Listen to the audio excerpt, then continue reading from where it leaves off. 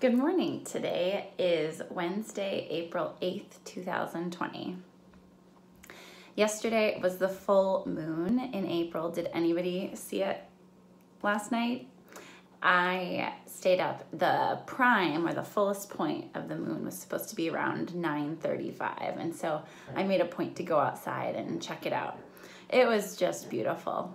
It really lit up a lot of the sky and the view that I had of it it was right between branches of a tree so it had a really cool look through look to it.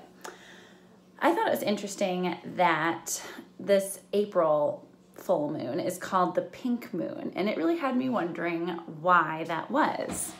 The moon didn't look pink it looked white like it always typically does. Sometimes it looks orangey uh, but today last night it looked white.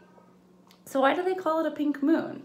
So I did a bit of research and I came across that it's called the pink moon because it's named after an early blooming flower uh, called the phlox. And I thought that was kind of interesting because I have phlox in my yard and they've not bloomed yet. Maybe they're about to bloom, so I'll be eagerly awaiting. They're small little pink flowers.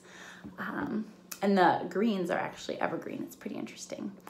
Anyways, um, it can also be called the sprouting grass moon because a lot of grasses are growing and spring is coming. Uh, it can be called the egg moon or the fish moon, depending on where you are. So here we call it the pink moon. So that also had me thinking about the different phases of the moon. So back when a few, many weeks ago now, we went to the library and got a whole bunch of books for Hayden.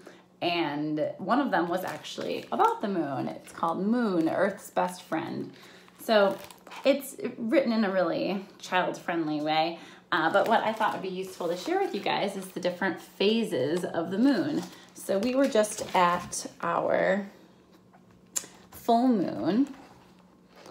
And next we'll be getting to our waning gibbous last quarter, waning crescent, and then the new moon when the moon is not in the sky. Well, it's still there, but we don't see it because of shadows. Um, the waxing crescent, the first quarter, and the waxing gibbous. So I've heard these terms before, but I never really understood why. I'm familiar with the concept of waxing meaning to grow, um, and in this case, it means growing from the new moon towards the full moon. And I've heard of waning meaning to decrease. But who's gibbous? Have you ever wondered?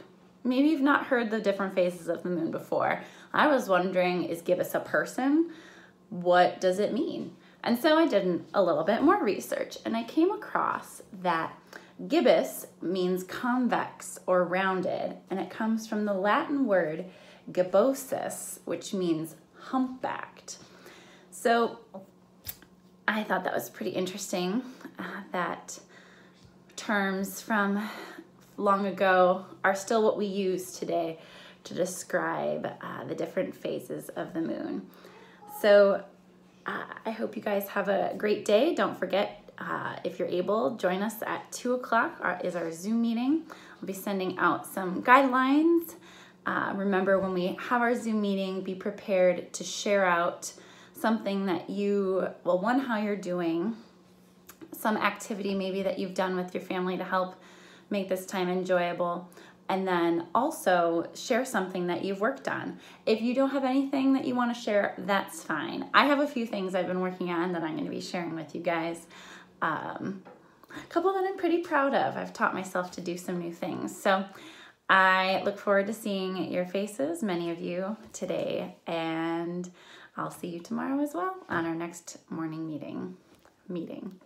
All right. Have a good day. Bye.